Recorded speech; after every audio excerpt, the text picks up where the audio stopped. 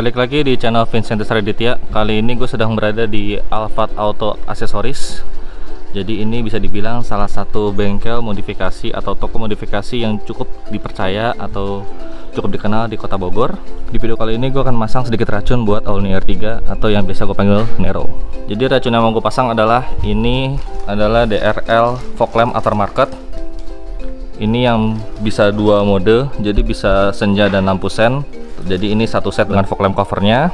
Lalu gue ingin masang HID kit karena kebetulan headlamp bawaannya Suzuki Alni R3 itu sudah proyektor tapi masih halogen. Jadi di sini ada balas Hilutex ini yang 35 watt. Ini yang tipe fast start teman-teman. Yang serinya A2088 untuk bulbnya gue pakai merek Kiyeki teman-teman.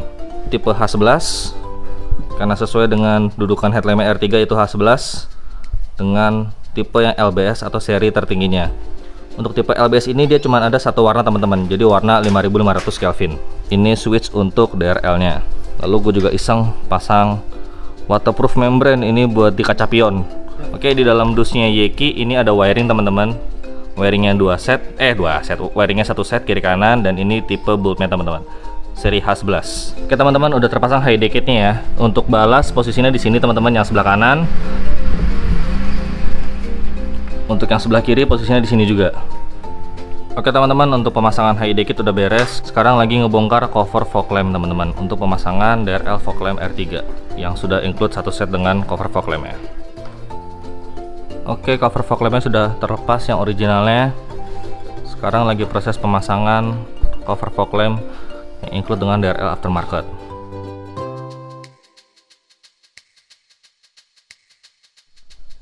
Oke teman-teman udah terpasang ya DRL lamp dengan aftermarket. Ada sedikit list chrome-chrome-nya ini yang sebelah kanan. Dan ini yang sebelah kiri. Kurang lebih seperti teman-teman bedanya. Ini yang originalnya. Ini yang dengan DRL lamp aftermarketnya. Oke teman-teman sekarang lagi proses pemasangan kabel-kabelnya teman-teman. Ini sekaligus gue rubah switchnya teman-teman. Jadi switch parking itu gue geser ke sebelah paling kiri lalu di sebelah kanannya switch DRL dan di sebelah kanannya lagi ini buat switch lampu kabin atau buat nyalain lampu kolong kabin. Ini lagi proses pasang kabel beserta jalur-jalurnya. Oh ya ini semua tidak plug and play teman-teman ya.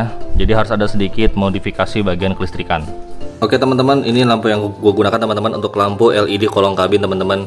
Ini berwarna ice blue kurang lebih warnanya seperti ini ini lagi proses perakitan teman-teman. Oke teman-teman ini lagi proses pemasangan anti fog film di spion R3 sekarang lagi proses di kletek. Silahkan mas.